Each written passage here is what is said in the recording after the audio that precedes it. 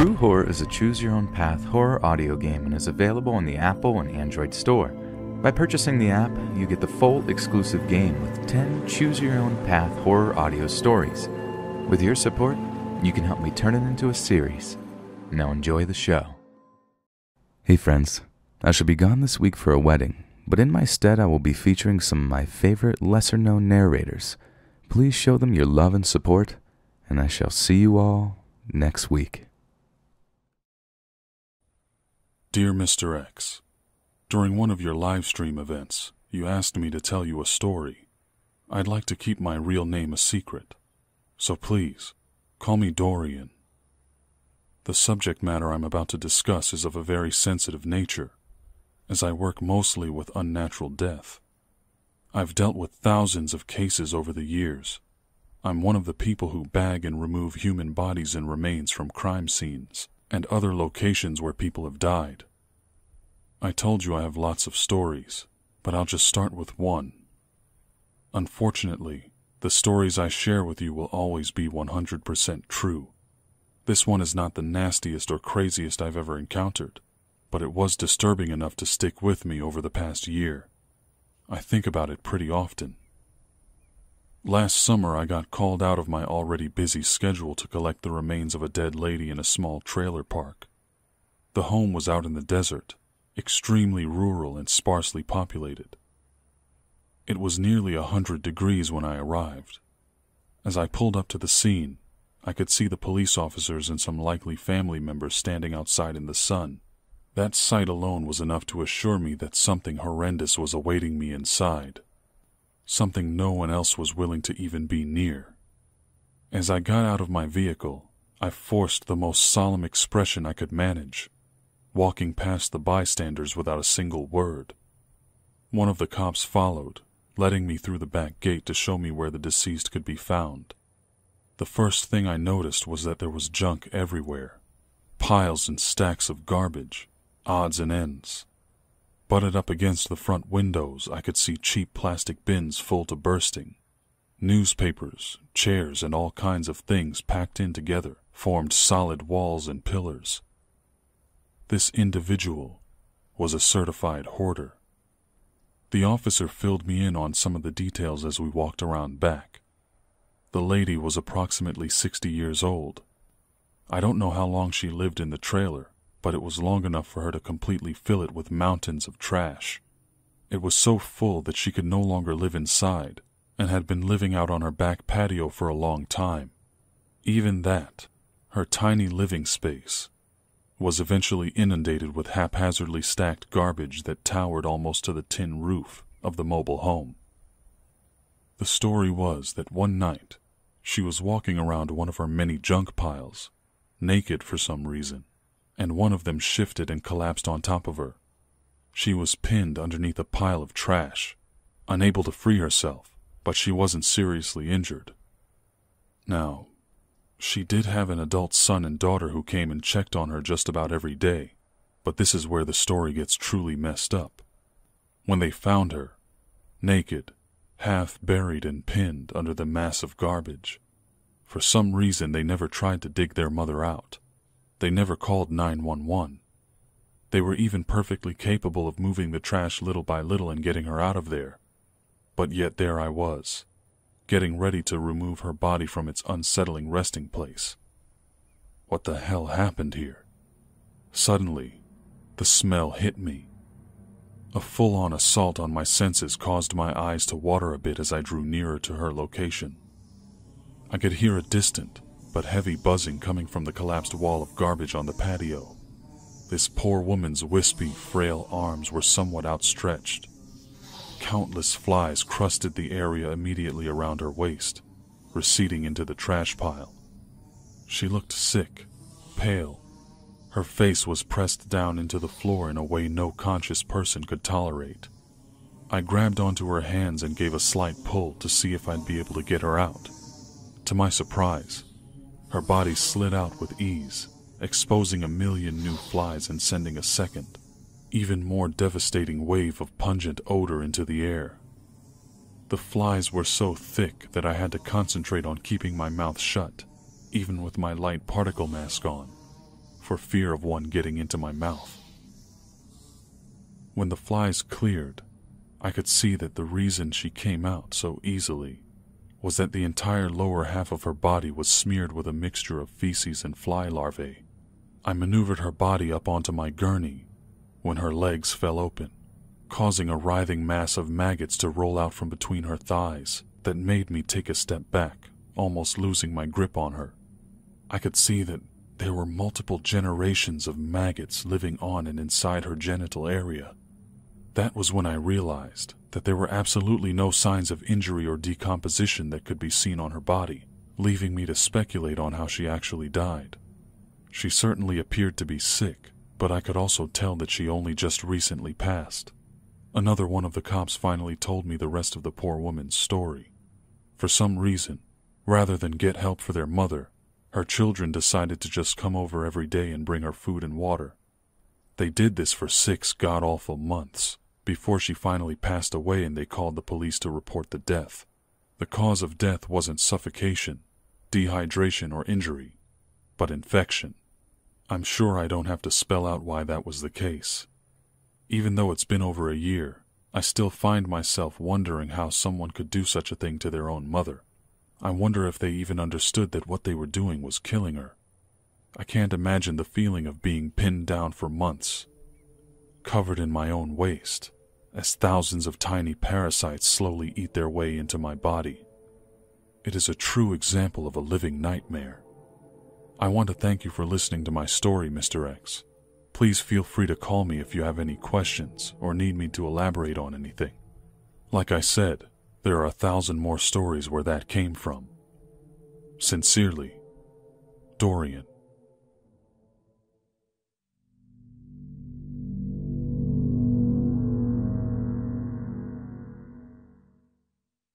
My name is Drew.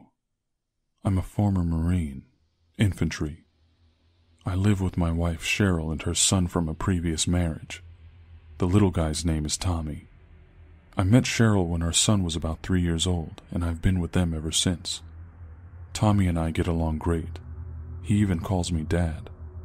He's seven now, and even though I'm not his biological father, he's pretty much my son at this point. We have our quaint little home on the outskirts of town, living a pretty quiet life most days, but you know I wouldn't be talking to you if there wasn't some sort of trouble. Imagine a 37 year old man who lives in his mother's basement in Ohio. He's got a 9 year old son with an estranged ex wife who can't stand him. He recently got himself into trouble by attempting to remove the boy from school one morning. He went into the main office to ask for his son, but was confronted by school personnel who knew that he wasn't allowed to do so because of a restraining order. Before they could call the police, the guy stormed out of the office and sped off in his dilapidated old sedan. This guy is Joey, Cheryl's ex husband and Tommy's biological father.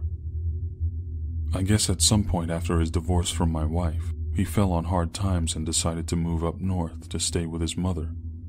No shame in that, of course unless you happen to actually be a crappy person.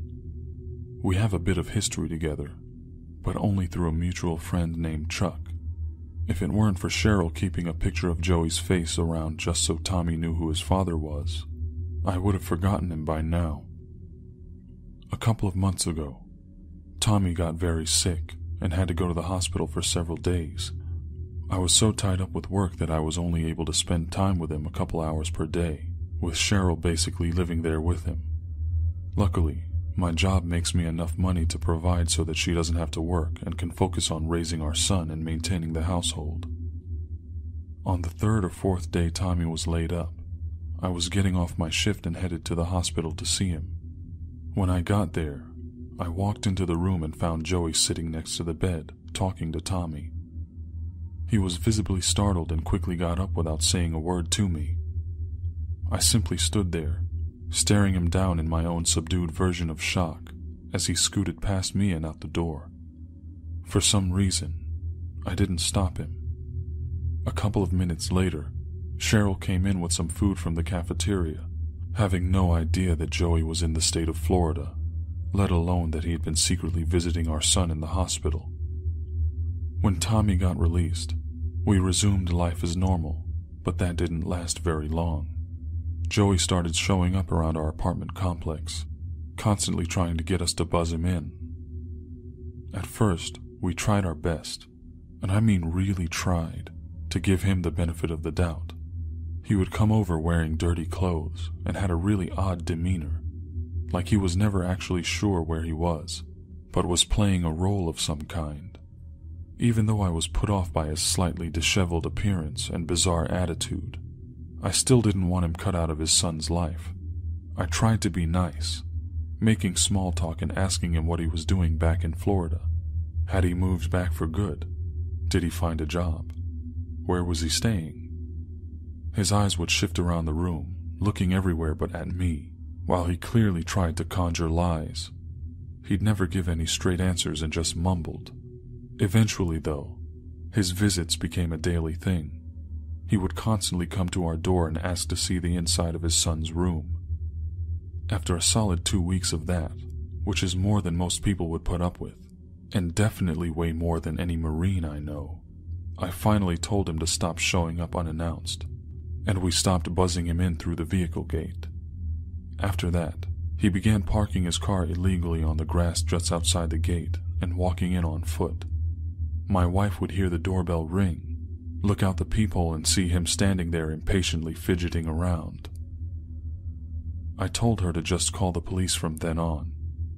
The cops would show up and escort him off the property, and then he'd be gone for a day or two before he reappeared the exact same way.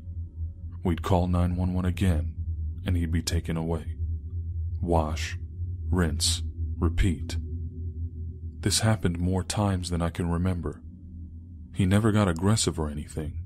He was just always showing up. During all that time, Cheryl refused to believe that this guy was nuts. One day, I came home from work, buzzing myself into the gate, only to see him parked on the street outside in a car that was definitely not his. I stared him down for a few seconds before I pulled in. His eyes seemed to be fixated on the space just above the roof of my car. He would not look directly at me. I got a call from Chuck, our mutual friend, who told me that he was getting tired of Joey. Confused, I asked him to explain. Apparently, Joey had been staying on Chuck's living room couch ever since he showed up in Florida. He told Chuck that he would only be there a few days, but it had already been almost two months. On top of all that, Joey borrowed a ladder from Chuck and hadn't returned it. My first thought when I heard that was the fact that I live on the second floor and my unit is at the corner of the building. And as you may have guessed, little Tommy's room has a window that faces outward and could easily be accessed via a 10 foot ladder if a crazy father happened to be in the area trying to kidnap his kid. The next morning at around 5:30 a.m., I woke up to the sound of my phone ringing. I picked it up, and it was the front gate buzzer. I immediately hung up annoyed to the point where I had to calm myself down a bit. I decided to go outside and confront Joey to make sure he knew that I'd had enough. I headed downstairs and into the parking area, knowing that Joey would likely be out there somewhere. The cool atmosphere of an otherwise serene morning was ruined. He was nowhere to be seen. I knew he had to be around there somewhere, so I kept looking. I passed by the mailboxes and was surprised to find Joey standing right in front of mine, trying to pry it open with his fingernails. He had this frustrated look on his face before his eyes shot up at me, startled.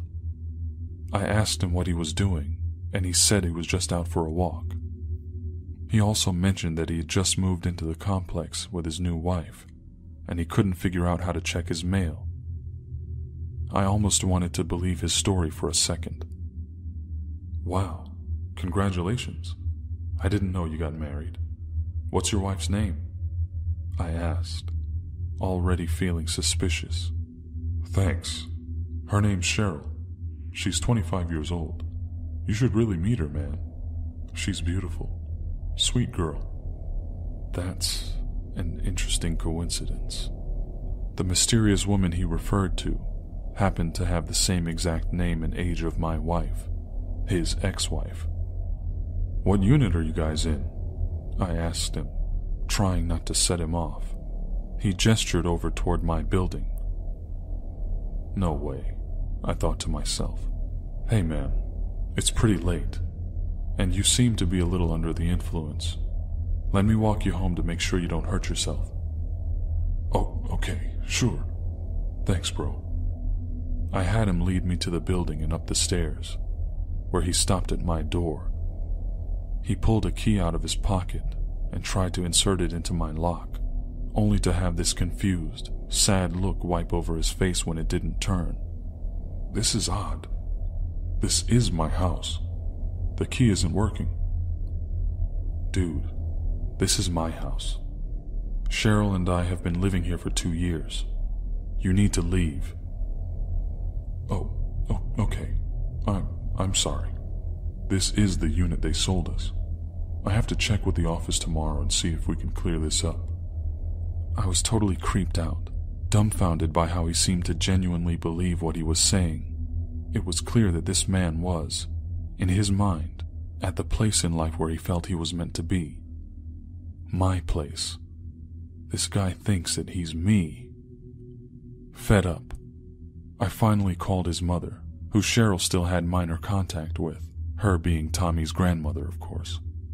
She told me that Joey was unemployed and had been staying with her for a few years in her basement. She also told me about Joey's attempt to pick up his estranged son from school, which nearly gave me a panic attack. This is where the nightmare really began. I immediately decided that we needed to make sure that Tommy's school knew not to release him to Joey. We went there to speak to the administrators, but we were informed that without a restraining order, Joey still had the legal right to pick up Tommy or withdraw him from school at any time. When we applied for one that afternoon, we were told that without a police report associated with our complaints, we wouldn't be able to obtain the restraining order. I never noticed it at the time, but whenever the police were called, they simply would take Joey away without writing up any paperwork, and that is what screwed us over. I heard my stomach hit the floor, knowing that at any time during the week, I might get a call from Cheryl saying that Joey picked up our son, my son, from his school. I knew that we would never see him again if that happened. A few days later, while I was at work, an unrelated incident occurred and police were called. My boss, who I already told about my issues with Joey, spoke to the cops and asked them if they could give me some advice. I was able to speak to two police officers about the issues I was having. They both patiently listened to my entire story. One of them took notes in a small notebook while the other simply listened intently as if in deep thought. Once they heard the story, they gave me some advice about making absolutely sure that we got a police report the next time we called for Joey to be taken away. That way, we could at least start the process of obtaining a restraining order. They also gave me a stern warning against engaging with Joey if I saw him again. That wasn't a problem for me, but I knew I would have to convince my wife not to answer the door or his phone calls again. Having the word of the two cops, though, was enough to make her see that Joey was clearly a danger to us in more ways than one. Luckily for me, Joey still doesn't know where I work, I recently gave Chuck a call to vent about the whole mess of things that had been going on, and he told me that Joey hadn't been back to his place for several days, something that he was totally happy about, being that having a nearly 40 year old weirdo sleeping on your couch when you have a wife and two children can be problematic. As glad as he was to see Joey gone, it just makes me wonder every day where the hell is he? So, hey, Joey, the kidnapping stalker who thinks he's me.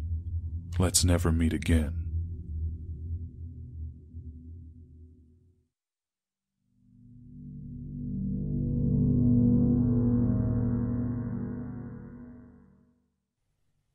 Greetings, friends. A year ago, I met a very interesting man who eventually became a good friend to me. Due to the sensitive nature of this story, I'll call him Chris to protect his identity.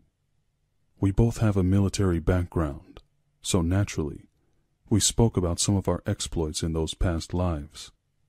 He had an unexpectedly haunting story to tell, and when I later got this channel up and running, I asked him if I could share it with you So here we go.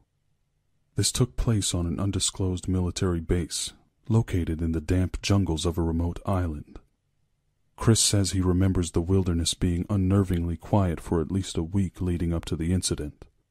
The personnel stationed there chalked the silence up to a change in seasons or something. There had been reports of bizarre sightings, fast moving animals no one could explain. Anyone who mentioned them was typically shut down with ridicule from fellow soldiers. The sightings were notably inconsistent with one another. Some saw large eyes, others saw small ones. Some heard a big thing trudging boisterously through the undergrowth. Others heard the sounds of something sneaking around in the brush. However, no one had seen anything worth defending in the inevitable argument, let alone losing their reputation over. Chris heard every report, due to the fact that he was the desk sergeant at the time. Anyone who saw or heard something off, which could potentially impact the security of the base, would typically come to him to have it notated in the log. He never took the more fantastical reports seriously enough to actually write them down, unbeknownst to the concerned soldiers who came to him. Some of them just came to talk about what happened, off the record anyway, which would typically end up with them just trading ghost stories. On the night in question, Chris and his team were on the far side of the island, an area which is completely uninhabited, where no human presence could be found for several miles in every direction. For that reason, the military chose that location for storing their weapons and explosives. Chris and a partner, whom I'll call Barry, were conducting the nightly checks on the magazine storage areas, which lay several miles deep into the uninhabited zone. The jungle was still weirdly quiet, but it was good for them, being that their mission was to detect foreign intelligence or other operatives tampering with U.S. equipment, or the occasional refugee group that washed ashore. They were on a road that rested in the valley of two mountains, bordered by gigantic hills, rocky and thick with tall grass. As they drove along slowly, with the windows of their Humvee rolled down, they heard a heavy thud coming from the woods, a totally unexpected, unnatural sound emanating clearly from the tangled growth. The first sound drew their attention, but was quickly followed up by other noises. Barry shut off the engine and headlights so that they could sneak up on whoever was out there. They knew anyone attempting to navigate the dense vegetation would have to do so carefully, taking time to avoid injury. But surprisingly, they could hear fast-paced walking, rustling through the tall grass. After a few moments, the sound began to move parallel to the road. They restarted the vehicle and began to pursue the noise. The walking continued for a while, as they followed it with only their running lights on, before it suddenly stopped. They at first thought that they lost track of whatever it was, so they turned the headlights back on assuming it was just an animal, and continued a ways down the road. As Barry proceeded to turn on the high beams, both men noticed something in the distance, approximately 30 yards ahead. A humanoid creature jumping into the road, and then back into the brush on the other side. Chris said that it was gray, over two meters tall with a small oval head. Its movements were too swift for its size, the best way he could describe its leaping motion was like that of an impossibly nimble frog. Seeing the creature instantly gave Chris the feeling of being punched in the stomach. His heart sank so rapidly and his adrenaline kicked in so fast that he began to feel nauseous, on the verge of vomiting. He laments the fact that neither he nor his partner had the will to chase after the creature, but says that the feeling of being at such a disadvantage against a creature like that was absolutely petrifying. The idea that they were stalking it raised the question were they hunting or being hunted themselves? Whatever it was, the monster definitely had the tactical advantages of both position and mobility. Chris and Barry turned their truck around and sped off into the night. The jungle remained silent for at least another week before returning to the normal droning sounds of the local wildlife. It's interesting that it's a known fact that many inhabitants of the jungle, crickets, for example, are known to be very quiet in the presence of a stranger. Whatever that thing was, it was no friend of the jungle.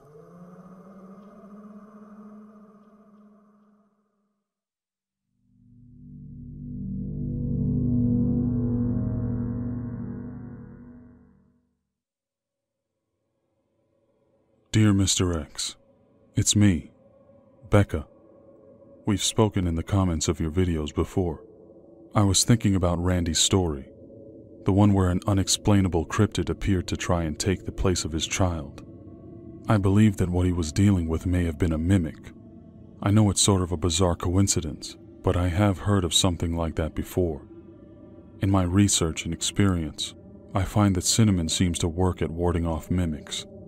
It worked for the family of a friend of mine, and that's actually the story I have for you today. This happened when I was a little girl back in the early 90s, maybe around 93. I had a friend named Sandy. She was an only child until the age of about four when her sister Faye was born. One summer, when Sandy was about seven years old, her parents decided to take a cross country road trip to Disney World in Florida.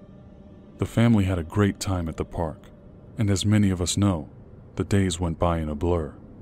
I guess the human mind can only take but so much childlike wonder and amazement before the memories start to run together. Before she knew it, Sandy and her family were packing up the minivan to head back home. After a few more days of driving, they finally made it home and unpacked their things, but something was wrong. Sandy noticed that somehow there was no longer just one Faye, but two. She didn't trust either of them, getting a strange feeling that each of the three year old girls were aware of some hidden deception. Shortly after their return, Sandy's parents began going out and purchasing duplicates of clothing, furniture, and other items to accommodate the new addition to the family.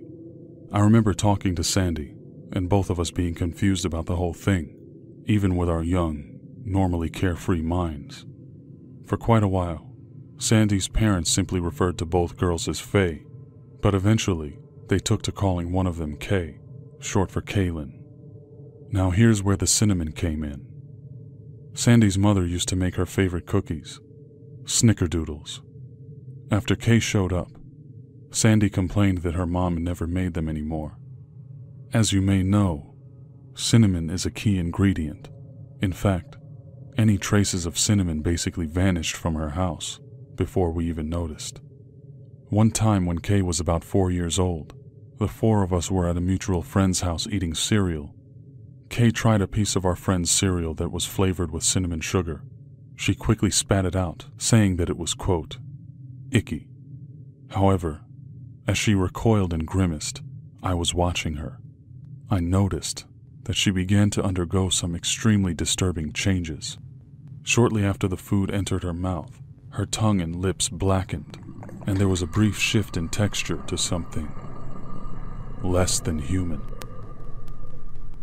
It was as if her skin had become charred and burned, with the blackness spreading across her lower jaw and up to her nose, before retracting back to normal with frightening speed. The only reason I noticed it was because I was so distrustful of her. I usually found myself staring at her with a constant sense of suspicion. Faye, the original one, I think, had been eating the cereal by the handful. Kay started crying and knocked the cereal out of her sister's grasp, making her wash her hands before dragging her back to their house down the street. Sandy's mother later forbade the children from visiting that house, based on something that Kay told her. We never found out what. The strangest part of all this is that Sandy's parents never acknowledged what happened. Not even once the mysterious appearance of an extra child in their home, the clear lack of preparation that made them have to go out and buy duplicates of everything, and countless other effects that come along with having one more child than you'd planned for. Kay had the mysterious ability to make her presence seem so unextraordinary. Eventually, I lost touch with Sandy and her bizarre family after a series of bitter fights and arguments between her and I. We basically ripped each other to shreds emotionally. I didn't see them again until the late 90s when my brother died. For some reason, Kay had clearly developed an intense hatred of me. I found out that over the years, Faye had been constantly sick with flus and other maladies, but no one could figure out exactly why. Sandy finally moved away out of town when her parents divorced. So, as I said, I want to caution Randy on the acceptance of such a thing he and his wife jokingly considering themselves to have three children instead of two. I would hate for them to end up like Sandy's parents, having one of their children truly mimicked, with no knowledge of which is the original one. What's even worse is that a mimic can tie its life force with its victim, and in that case, they really will have three children. Two normal ones, natural ones, and one that's secretly a demonic parasite with an extreme allergy to cinnamon. Anyway, thank you for listening, Mr. X. See you in the comments. Becca.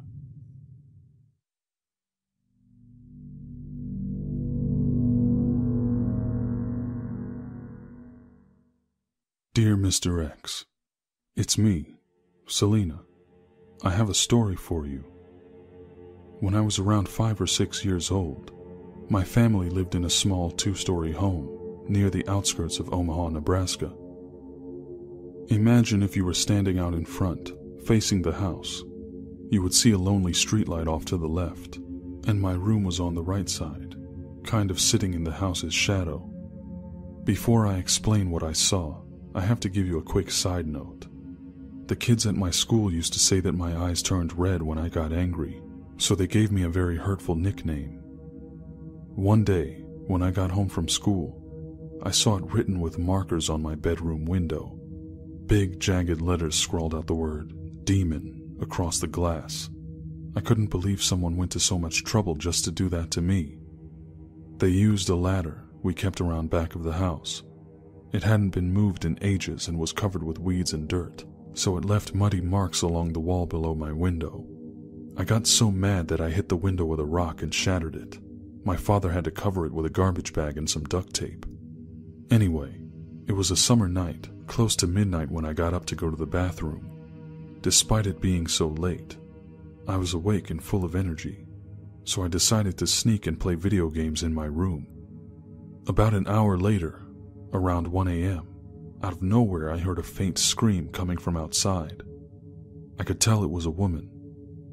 Scared, but still curious, I ran downstairs to look out the window in the living room, but I was shocked when I realized that the whole room was bathed in red light. As I surveyed the surreal environment, it felt like an alien world, despite the fact that it was full of furniture and items I saw and enjoyed every day. I looked up to see that the windows were all covered, essentially plastered with some kind of paper like material that seemed to be soaked in blood red liquid. I ran back up to my room and carefully climbed up onto the sill, peering through the unbroken part of the window so as not to be noticed. What I saw, just at the edge of the circle of light on the street, was the shape of a man crouching over a woman who lay motionless on the ground. The man wore an orange, short sleeved shirt and what looked like jeans, but the girl was dressed in a sort of business casual attire a collared white shirt with a black skirt and stockings. I saw a streak of blue in her otherwise brown hair. The man looked up, and his face was so pale that it stood in contrast against the darkness around him. A dark red smeared and stained his mouth and face. That's when I realized I was looking at a vampire. As the shock and fear began to build in my young mind, he turned his head directly toward me with a startled look. He glared at me before sweeping the girl up from the ground and dashing away with such incredible speed. It didn't seem natural at all. I went back downstairs after he left and saw that the windows were back to normal. The next day, I went over to the spot where the attack had occurred and saw spots of blood on the pavement, along with a silver necklace.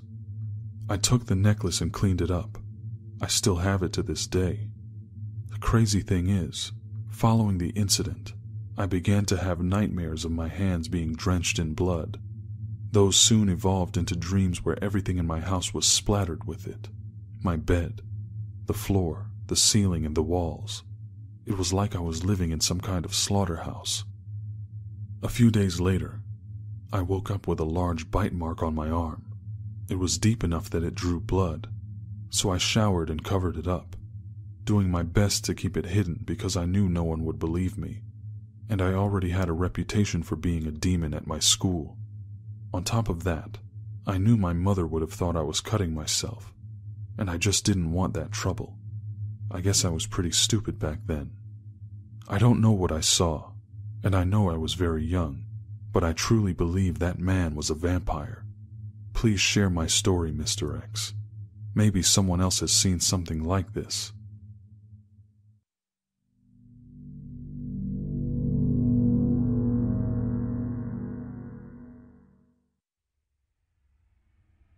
Dear Mr. X, It's me again, Tammy.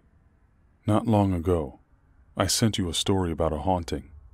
I can't tell you how good it felt to be able to share my experience with people who wouldn't make me feel like an idiot or a liar. Well, I have another story I hope you'll find interesting. These events happened several years after I was haunted by May, the woman in the yellow dress. I may have mentioned this before, but both my parents had a long commute to work. My dad was in the Army and managed to get my mom a position at the munitions depot near the post he was stationed at in Nevada. Eventually, they decided to find a sitter for my little brother and I that was much closer to the base. We were the youngest, after all, so my parents wanted us not to be so far out of reach. We even went to school in the local area there thus avoiding the nearly non existent education system in the small town where we lived. Our babysitter's name was Terry. She had a nice house, but it definitely stood out in her quaint little neighborhood. It was the only real house on the block, and it was obviously very old, built in a sort of colonial style that was popular so many decades ago. Most of the other townsfolk lived in either single or double wide trailer homes. Even more unusual, Terry's house was painted bubblegum pink. Being no stranger to the paranormal, even at nine years old, my sensitivity had grown since my last encounter. I began seeing shadows of people and hearing voices echoing down empty halls. My mother would instruct me to carry a blessed handkerchief and sing church songs out loud whenever I felt scared or threatened. When we first started being dropped off at Terry's house, everything was normal. We would go to school, do our homework, eat snacks, play outside, kid stuff. My mom would pick us up in the afternoons. After a while, though, I started noticing little anomalies happening every now and then. Small things like glasses of juice tipping over, chairs moving on their own, disembodied footsteps and thumping on hallway walls. My brother and I would sometimes even hear a woman crying.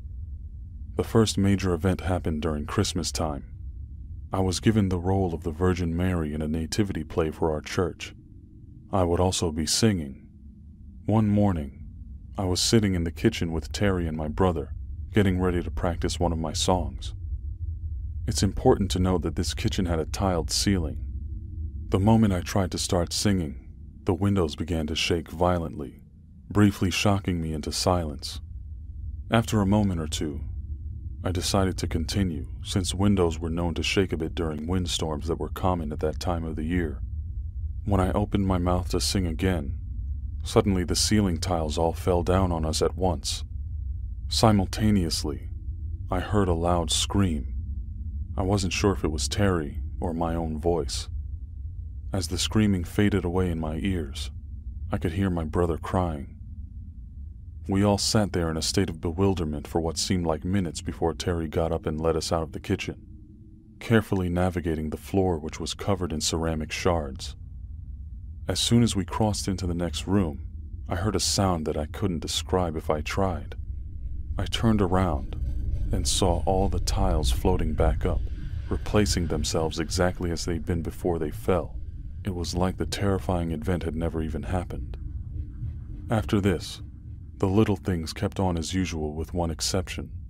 The woman's cries began to sound more and more clear, whereas before, it just sounded like muffled sobbing. I was able to gradually make out words. It was like she was begging someone. No, no. Please. Stop. I'm sorry.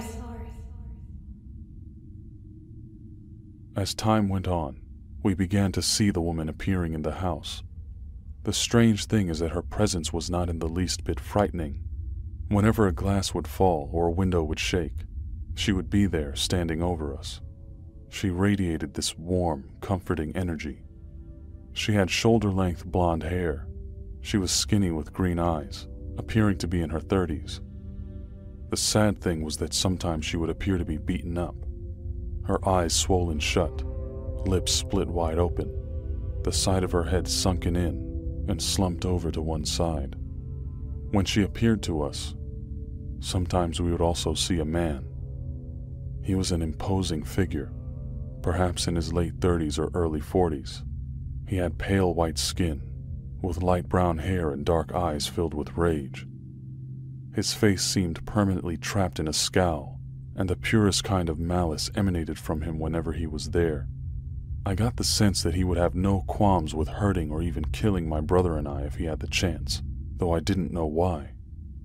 The weather in our part of the state was extreme at times. Bad storms were known to crop up out of nowhere and were often extremely dangerous. One day while I was at school, a storm hit that had the whole region scrambling to evacuate. The evacuation window was so narrow that I missed my bus due to my being in the bathroom when the announcement was made. My parents decided to have me stay with Terry until my dad could get away from his duties, preparing the military base to weather the storm.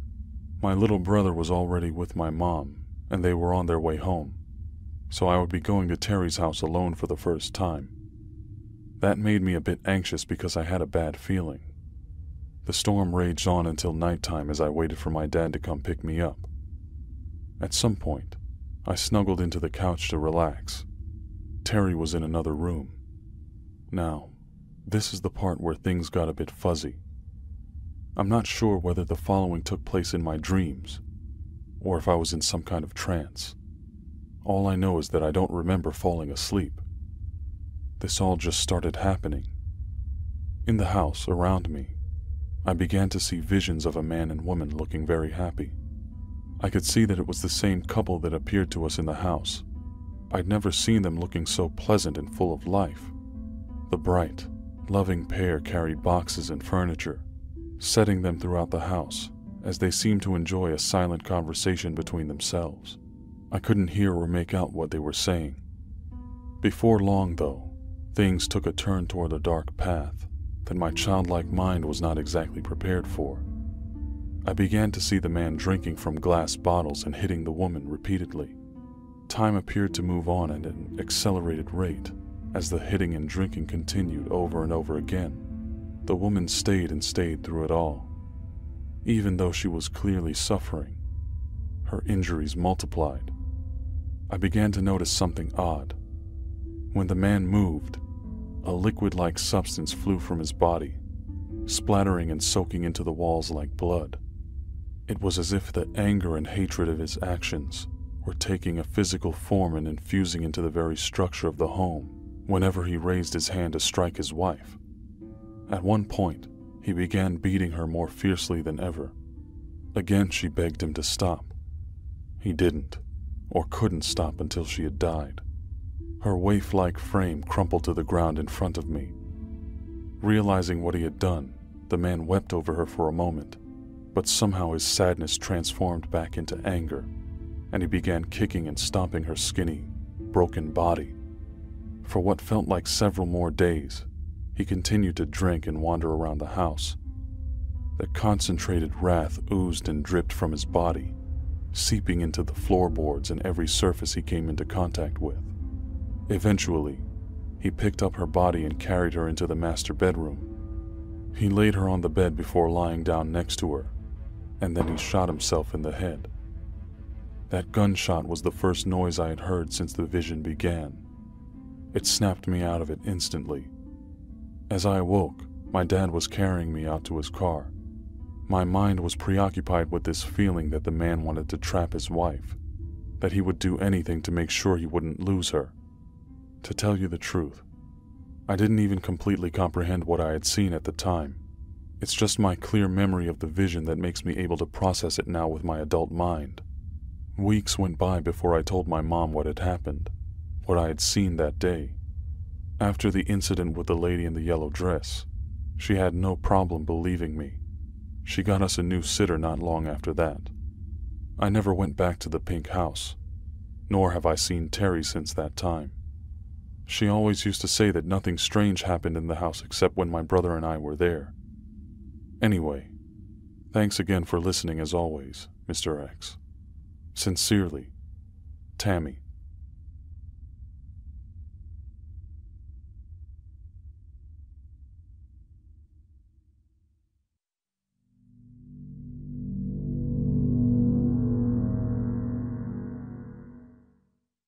Greetings, friends.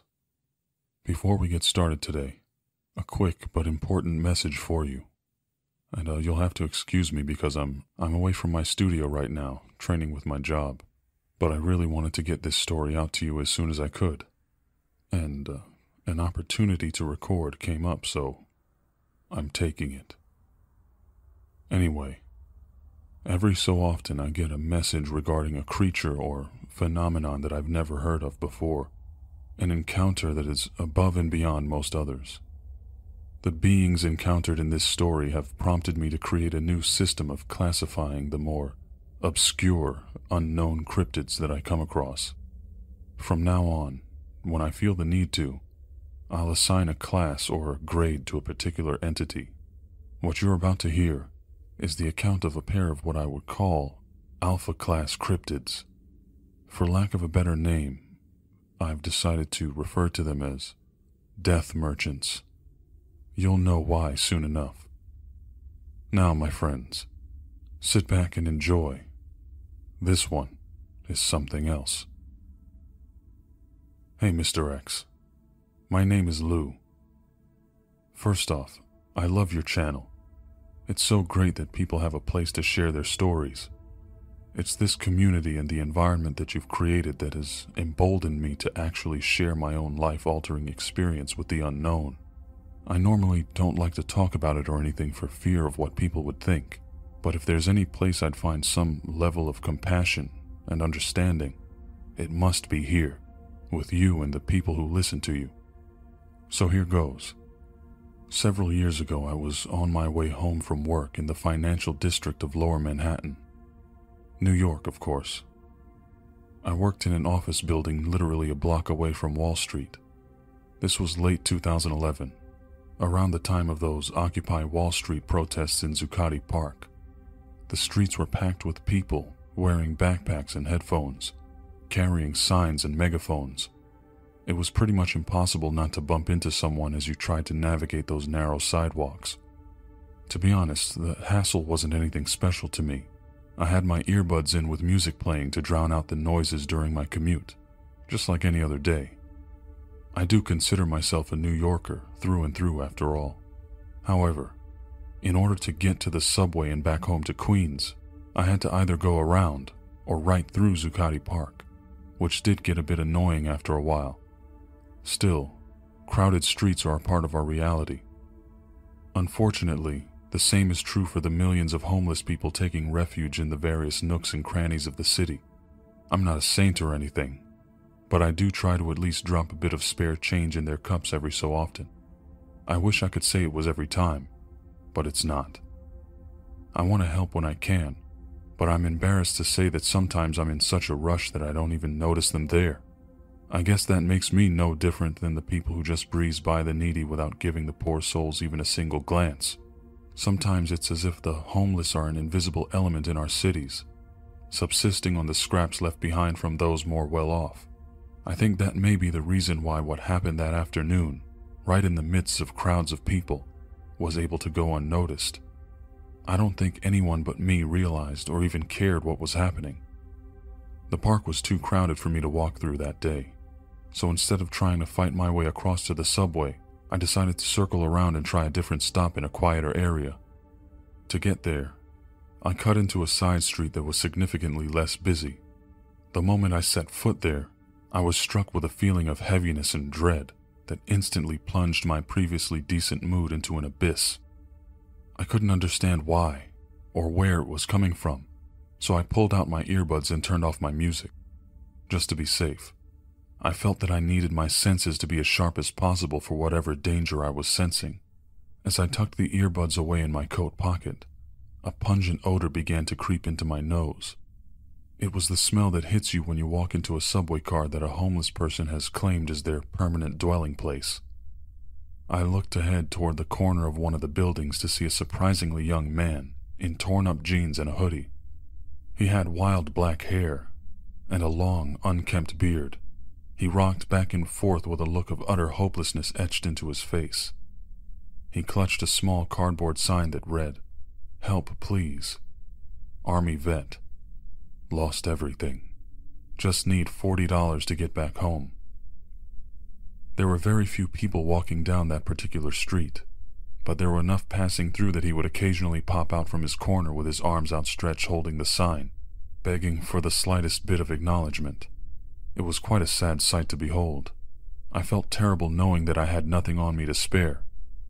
As I got closer and closer to him, I felt terrible knowing that I had nothing on me to spare, so I would inevitably end up being one of those people myself, walking by him without seeming to care at all. Just as that thought crossed my mind, I saw an odd looking man further down the road, walking toward the homeless guy. The strange man stopped and crouched down to the homeless one's level. After staring at him a moment, the stranger reached into his pocket and pulled out a large roll of cash, holding it out in front of him as if to offer it, but clearly holding something back. It was a bizarre sight, especially in New York City but at least I no longer felt as guilty being unable to help the poor guy. I wish things went as you would expect from that point on, but unfortunately, that's where things began to get weird. To be honest, I've been building up this long preamble because every time I think back to this event, a sharp chill runs down my spine and I swear my eyes tear up. So as I continued to walk toward the pair, I realized that everything, like the world around me began to slow down somehow. The loud noises of city streets faded into a soup of auditory blur. Every sound muffled as if I was holding my hands over my ears, or had my head under water. As this was happening, I realized I was staring at the strange man holding the wad of cash. I noticed how ordinary he was. Everything about him seemed so plain. He was dressed like any other white collar worker. A simple, or even slightly ugly brown suit hung loosely on his slender frame. He wore a tie and dress shoes and carried a generic leather briefcase. He also had a matching brown hat on his head, angled in order to hide the top half of his face. As I slowly made my way closer to them, the stranger lifted his head to meet the confused gaze of the homeless man. That's when I stopped dead in my tracks. The formerly bland appearance of the man became clearer to me, and I noticed two haunting features. His skin was ashen white. Not paper white, but not quite gray either. And his eyes, they were a deeper black than I could ever describe. I tried my best to rationalize what I was seeing, but my brain just had a visceral reaction against it. A guy wearing black contacts in a business suit would be a little weird, but I'm sure it wouldn't be the first time someone had made those particular fashion choices out in NYC. I can tell you this, though. A regular guy dressed like that would not be enough to stop a New Yorker in their tracks like it did me. It was more than just the look of him. It was the feeling I got from him. It was like being punched in the chest. As a child, I dealt with frequent asthma attacks. And as an adult, I've had more than my share of panic attacks. But this was something else entirely. Much worse. A heavy, nauseating feeling that was born in the pit of my stomach and crawled up my chest before nesting in my throat. The air had become solid around me as I stood there frozen. I could see in my peripheral vision that other people were still walking by through the side street, although I somehow saw them moving in slow motion. After a few moments, the strange man and the homeless man's voices seemed to emerge from the muffled white noise of the rest of the city. Their voices slowly became clearer to me. I missed a lot of what was being said, but certain words stood out. I. I don't want to die. The words shuddered from the homeless man's mouth as he reached for the money. His eyes were fixed on the roll of cash, yet steeped in hesitation and fear. The stranger smiled at him, and I swear to you, Mr. X, something about that smile made me want to scream.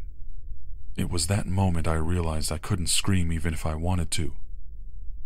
I could do nothing but stand there helplessly, my feet nailed to the concrete sidewalk as the scene played out just a few yards in front of me. The stranger's response was chilling. Well, you're going to die either way, Robbie. At the mention of his name, Robbie sat straight up with a look of slack jawed amazement, tinged with horror. Side note going forward, I'll refer to the man in the brown suit as Brown. This will be important in a few moments. So, before Robbie could say anything, Brown lifted his hand as if to give an important presentation and spoke again. His voice was just so wrong. I can only describe it as oily, gravelly, and wet, like someone trying to talk through a mouthful of phlegm. If you think the description sounds gross, just imagine how foul it made me feel hearing it. Question is, do you want to die happy and comfortable, wanting nothing? Or here, in this alley where no one will even notice until you've been rotting for a while? I still don't know how that scream didn't fly out of my mouth after what happened next. If I could have moved at all, I would have jumped right out of my skin. A third voice chimed in before the corresponding figure stepped into my view. Another strange man, nearly identical to Brown except taller, and somehow even thinner, and wearing a gray suit. I'll call this one Gray for the sake of organization. Gray held a lit cigarette between two fingers and stared down at Robbie with a tired ambivalence. Take the money, Robert. We have things to do. Robbie nodded with a resigned expression as he took the cash. He gasped as he clawed at the bills, unfurling a surprising amount. This is so much, he exclaimed. I couldn't make out what was said next. I saw Brown stand up next to Gray, followed by Robbie standing and gathering his few possessions from the ground before thanking the two strange men, and then briskly walking toward me. He brushed past me in a hurry, thanking God over and over again, crying. I still couldn't move. I was stuck there as the two strangers' gazes fell upon me when Robbie was out of sight. The two sets of pitch black eyes staring at me gave me the distinct feeling of being watched by something not human. Their mouths moved as if speaking to each other, but I couldn't make it out. The volume of the white noise around me was going crazy, up and down. It was extremely disorienting. Eventually, I could hear a few bits of their conversation, but the language was unlike anything I'd ever heard. Now consider this. I speak fluent Spanish and understand bits of many other languages Italian, French, Arabic, a little Japanese, and even some Yiddish. You tend to pick up little things here and there living in New York. I can certainly place a language roughly when I hear it. What the strangers were speaking was unlike anything I'd ever encountered. The sounds they were making weren't even sounds that people made. It actually caused me physical pain in my ears when I really began to hear it like when your ears want to pop on an airplane, the feeling when you know that there's pressure in there but you can't get it out, so it stings. The pain got so bad I wanted to vomit. Brown snarled a word at his friend in the same wet, nasty voice. English. Gray then made a bizarre clicking noise, smiling that same horrific smile that Brown did earlier. It'll be fine. Brown responded. Then why did you lie? What Brown said next still keeps me up some nights, even all these years later. He rolled his shoulders back and grunted. Uh, does it matter? I'll be wearing that stupid chip by the next moon.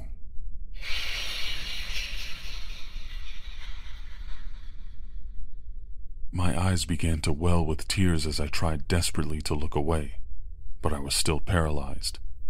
Slowly, the world began to creak back toward normal speed again. Mr. X, I'm telling you, I'm trying so hard not to cry as I sit here typing this. Just like the plight of Robbie or any other homeless person, No one bothered to even look at me as I stood there in terror. People were there, moving slower than normal, at least from my perspective, but no one stopped or noticed that I was in trouble. Gray looked directly at me. My head started swimming and I immediately felt dizzy. My vision blurred as I lost focus on all except one thing Gray's voice. Um, well, now. Look what this one can do. Cute. Suddenly, Brown stepped forward from the sea of blur, his black eyed face sneering at me from mere inches away. Whatever. A chimp is a chimp. They're all the same. Gray's voice grumbled at me. Hey, you, chimp. Leave. Now.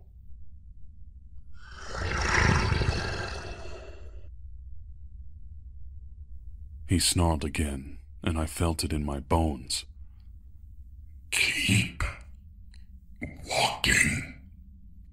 I wish I could tell you what happened next, but the next thing I knew, I was standing on the sidewalk all the way up at Columbus Circle in Midtown, almost a half hour's walk north of where I was.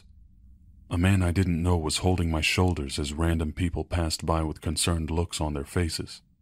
I was barely conscious. Once again, my vision was completely blurred out. When things slowly came back into focus, I could finally hear the man's voice. Yo, uh, you alright? He asked with a nervous tone. Damn near walked into traffic, man. You okay? Must be on drugs, someone yelled out as they scooted by. I told the man I was okay as tears began to run freely down my face. I apologized and fled the scene as soon as I could, rushing over to the train station, having no idea how I got so far uptown. By the time I got home, I realized I wouldn't be able to tell anyone, not even my wife. She would definitely think I was losing my mind. I haven't seen those strange men, or whatever they were, since that day.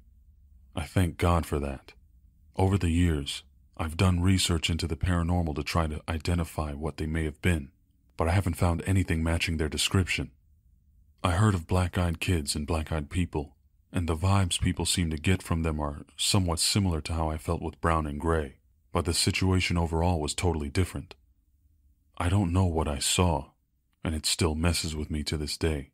I've been to therapy about this.